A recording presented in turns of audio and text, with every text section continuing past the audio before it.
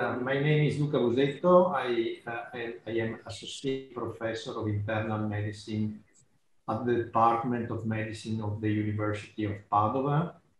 I work in the Padova University Hospital in a large COM center for obesity management. I work uh, both in clinical and in research since many years. My focus was obesity and is obesity. And I am now the president of the Italian Obesity Society. And I, I am, first of all, a big fan of my co-chair, Dror Dicker. Please, Dror.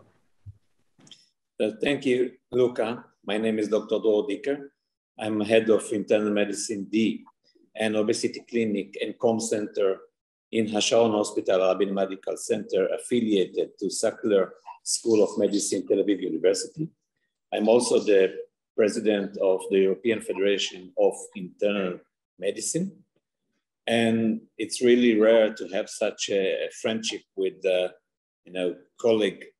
Um, uh, and I'm really proud in my uh, friendship with Luca. And I think this uh, friendship really produced very nice papers and actions in the obesity management task force.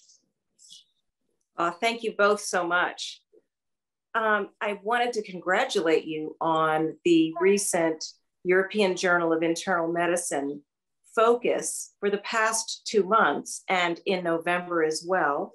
We have three feature articles on obesity in the Internal Medicine Journal, and it's a very well respected journal. Can you tell us about how that came to be?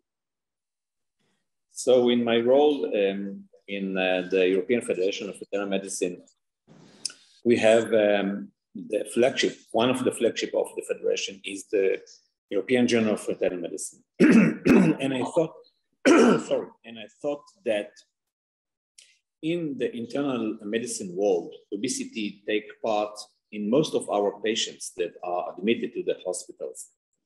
And we know that like 35% of our inpatients in the internal medicine departments in Israel are diabetic.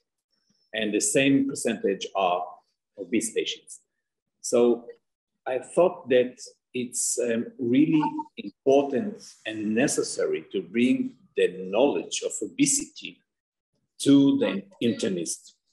And we sat with Luca, we sat with Luca and tried to really thought how we can tackle um, these issues of obesity that will be interesting and informative for internists.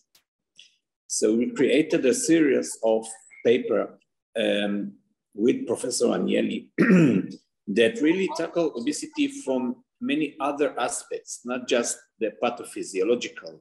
Like we have um, two seminal papers on the stigma and the attitude for obesity.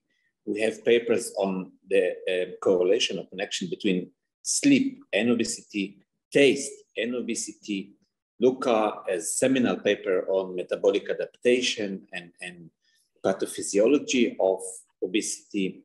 And we will have a, a paper on the future pharmacotherapy, which is very, very interesting. And I think um, a very important and seminal um, issue is the new uh, acceptance and the knowledge and the notions of the contribution of physical activity to obesity and treatment. And working with Luca on this was uh, really important because the internists in Europe are 50,000 physicians from 33, 35 countries. So to bring such a, um, a comprehensive papers and knowledge on obesity was very important for us. Luca, what, what do you think about this? Yeah, I, completely agree, Dror. And uh, I'm very happy that with your help as a president of the uh, Internal Medicine Society, we succeed in having this uh, uh, um, important uh, presentation in the, in the, in the journal of the society. And this is, of course, a part of our continuous effort for raising awareness about obesity as a chronic disease, not only within our family or our group of obesity specialists, but outside of our group, because as you uh, uh, rightly mentioned, many of the patients that are cured by other for, for other specialists or other chronic diseases, they are indeed persons with obesity. And the obesity frequently is the root of the complication or other diseases. So it's very, very important that our colleagues in internal medicine, but I hope in the future, even in other specialties, they are aware about the importance of obesity and they are aware of the new uh, possibilities that we have to treat obesity more efficiently now and for, the future. So I, I agree with you that this is a very important work and a work that we will need to continue in the, in the future as EASO members. Yes, uh, in fact, what I saw until now, uh, the two uh, first papers on, um, on stigma and perception of obesity are the most downloaded papers uh, until now in EJIM. So I think uh, there is a very much need and interest in uh, treating obesity in this cohort of, uh, of physicians. And, and, and as you all know, we had um, two years ago, I think, um, the new guidelines for primary physician, which is also very much quoted and downloaded. Excellent work uh, by uh, um, co-partners in the primary physician and obesity management task force. And I think um, the next uh, um, try or the next cohort, a group of physicians that we should aim is the primary physician. Of course, they see the first, uh, they are the first to see the, the obese patients.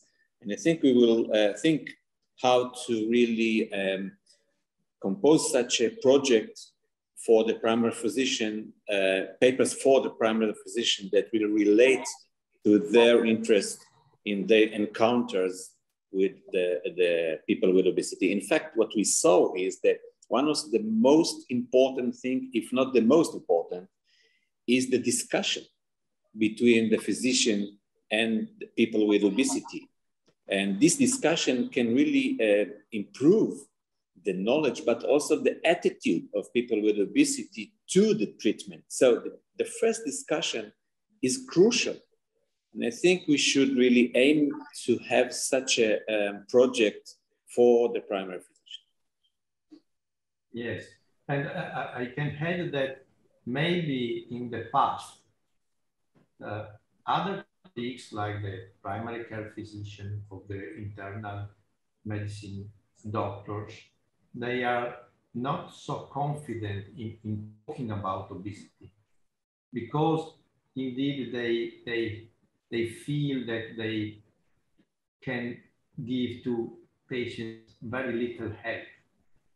But now the situation is changed or are changing because we are more uh, advancement in, in, in, the treatment. So in, maybe we are now in the same situation in which our colleagues treating diabetes were 30 or 40 years ago when the, the therapy for type 2 diabetes was only diet and, and metformin. But now the, the, the, the, panorama is changing. So we will have uh, more and more effective drugs for treating obesity in the future than now.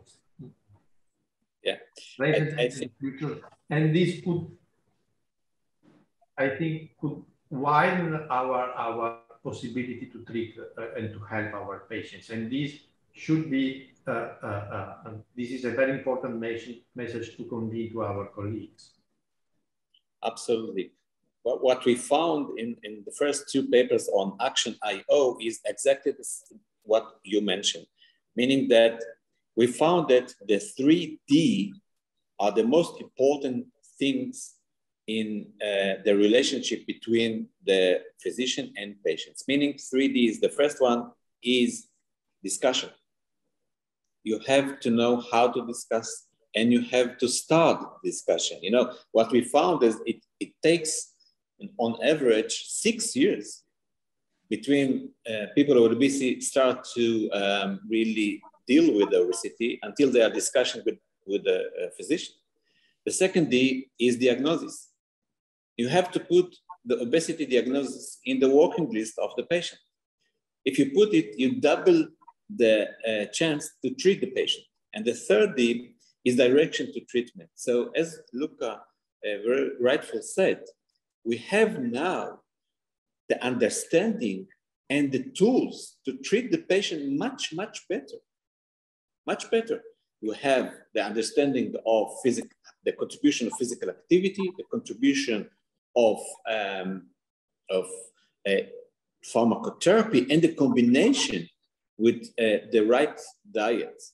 So I think now we understand much more um, a lot of because uh, Luca's uh, um, studies on metabolic adaptation and physical activity and pharmacotherapy. So as I mentioned before, we have very important, I think in the last group of three papers, we will have the physical activity and pharmacotherapy, which are seminal papers. And I really advise everyone to read them because this is the future treatment of obesity. So, Luca, can, can you really elaborate a little bit on your paper on the metabolic adaptation and maybe some words on the physical, uh, physical activity um, understanding for this excellent series of papers? Yes, um, the paper was a collaboration uh, uh, with, in my group, the group of Rachel Batterham in London and the group of Jason Halford, uh, now in Leeds and we, we, we, we, we produce a, a review of the mechanism uh, uh, that can cause the, the weight regain in patients with obesity that is probably one of the most critical problem in obesity management, the, the, the weight regain. You know that it is relatively easy to obtain weight loss, but it's very difficult to maintain so we, we, we, told, we, we wrote about the, the uh, uh, gastrointestinal hormones that are part of the mechanism that can cause weight regain. Uh, we talk about the, the, the, metabolic adaptation, and we talk also about the rewarding mechanisms that are very important in, in the psychological part of the problem in, in uh, favoring weight regain. The, the paper uh, on physical activity is a, a sort of uh, conversation of a, a, very, very huge work that we did in the last uh, uh, year. Uh, uh, EASO convened a large group of people working on physical activity, and we review all the materials uh, for, for, for producing at the end a set of very clear recommendations about the role of physical activity in obesity management. This work has been published in Obesity Review this year.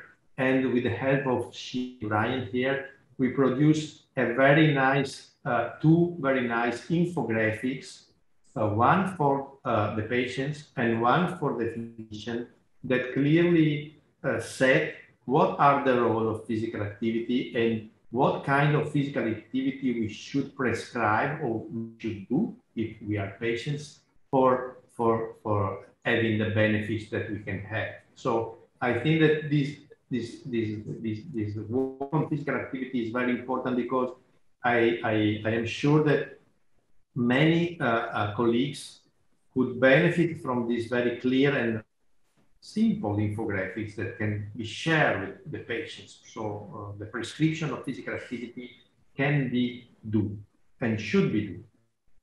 And we're we're hosting a webinar series actually on the physical activity supplement. And that will be held November 18th and December 2nd. And sign up information is available on the EASO website. Yeah. Thank you both very much. Yeah, thank you uh, for all your efforts, Shirin, because I think we are progressing to the area that obesity become evidence-based medicine you know, in the past we have a lot of uh, um, perception and beliefs and, and, that really was not really evidence-based. And what we saw in this um, huge project of physical activity, we don't have a lot of evidence-based in, in physical activity. And, and this is the importance of all these papers that really um, find what we have evidence and what we don't have evidence.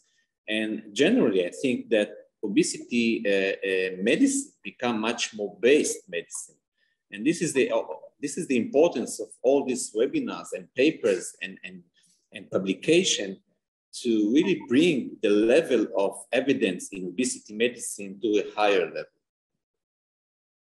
Yes. That's great. And that is a great place to conclude our conversation. Thank you so much for taking time and talking about the series. We're looking forward to the November edition. And we're also looking forward to the next collaboration, perhaps with the general right. practice community. Absolutely. Absolutely. So thank you both very much. Thank you very much.